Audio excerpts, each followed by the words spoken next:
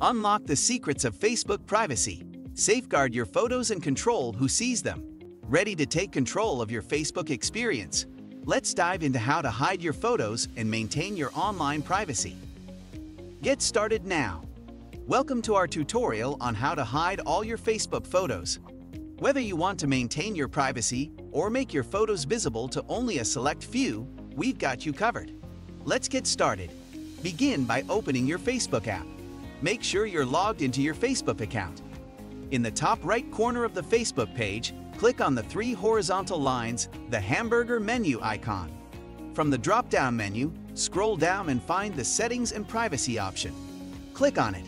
In the Settings and Privacy menu, choose Settings. Scroll down the page where you'll see the list of multiple options. Click on Profile and Tagging. Find the Tagging section.